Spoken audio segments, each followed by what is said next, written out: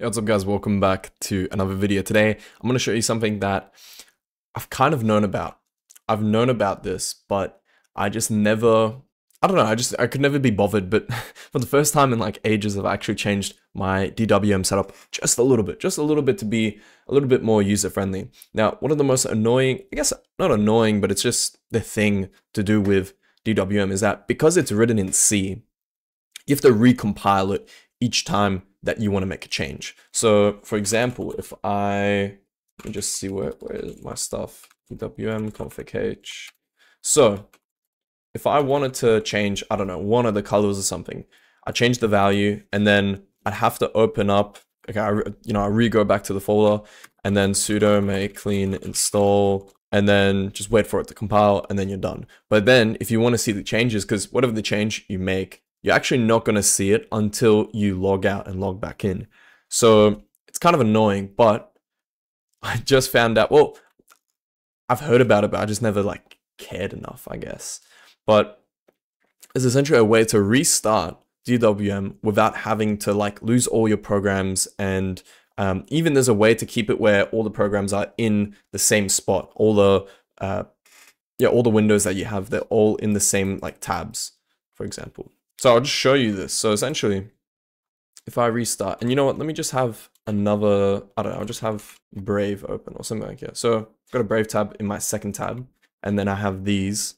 You will notice though, it will go to like a default layout. So it might muck up a little bit, but it's not, like it could be worse. It could be worse, but it will go to tiling mode. I don't think it'll keep the exact position how it is.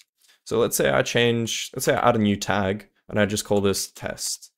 And you know, I'm testing it. I want to see what it looks like. So created the new tag, I saved it, then I compile, and then now I just restart, and then you can see it's already restarted. It's already there. So you can see it does kind of alter the windows stuff, but if we go to my second tab, the Brave tab is still here. The Brave window is still here. So very, very useful. However, I think that's the only annoying part. To my knowledge, there isn't a way. Actually, you know what? Let me check. Let me check right now. Yeah, okay, so I did a quick quick little research and it doesn't seem like there's any way to really like restart it without like while keeping the positions. It seems like you can keep like the relative positions but not the actual like you know, let's say like I move it here and then I restart, it's just going to restart it like that. Like, you know, it's just going to like do a random it actually it seems like the order's kind of random if anything. So, it doesn't seem like there's much that you can do about that, but hey, at least like you get to keep the general like gist of things. Like, you know, that's pretty good in my opinion. Okay, so now let's actually implement this. So it's very simple. The first, there's a couple ways that you can do it actually. So there's actually two patches, uh, self restart and restart sig. And to be honest, the different, I don't actually know what the difference really is, but personally, because like if we just look at this, I feel like it's just unnecessary to have a Stupid. In my personal opinion, I feel like it's just unnecessary to have all this extra like code that can lead to your whole config being a little bit more complicated.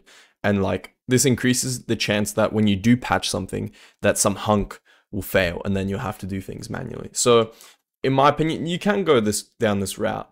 I think it's just easier to do it the way that I've done it. So the way I've done it is literally you just go to your Xinit RC, you go to your Xinit RC, and then at the bottom, when you're going to start DWM, you just add something like this. And actually all you need to do is just while true, do DWM, and then this sends like the error log there and done. So you're just sending the error log to this specific area. It, to my knowledge, I'm pretty sure like any error inputs. And then again, you can just like restart. So I'll just move my, actually no. And you know, we restart, it's completely fine. And it preserves all the positions. The only, actually, no, no, I should say, no, it doesn't preserve the position. So you need another patch for that. So to do that, you need the patch preserve on restart.